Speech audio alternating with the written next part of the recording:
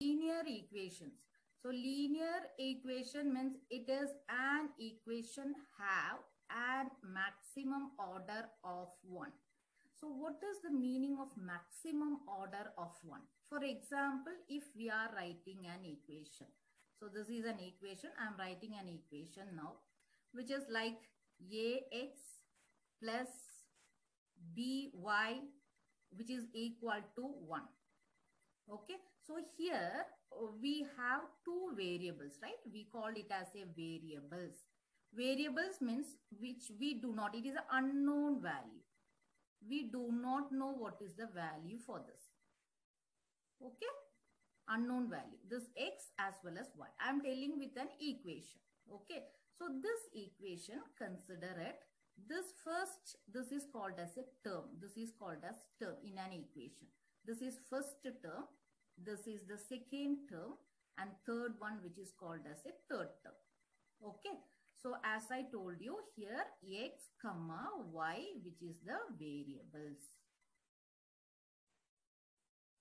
Okay. Now, A and B, A and B is nothing but it is the coefficient, coefficient of X and Y. So, what is the coefficient of uh, X? See, A which is the coefficient of X. So, you have you can write like coefficient of X is which is equal to A. Similarly, what is coefficient of Y? Coefficient of Y which is equal to B. Okay. So this particular equations we have three terms we called as terms. First term, second term and third term. In the first term we have A as well as X.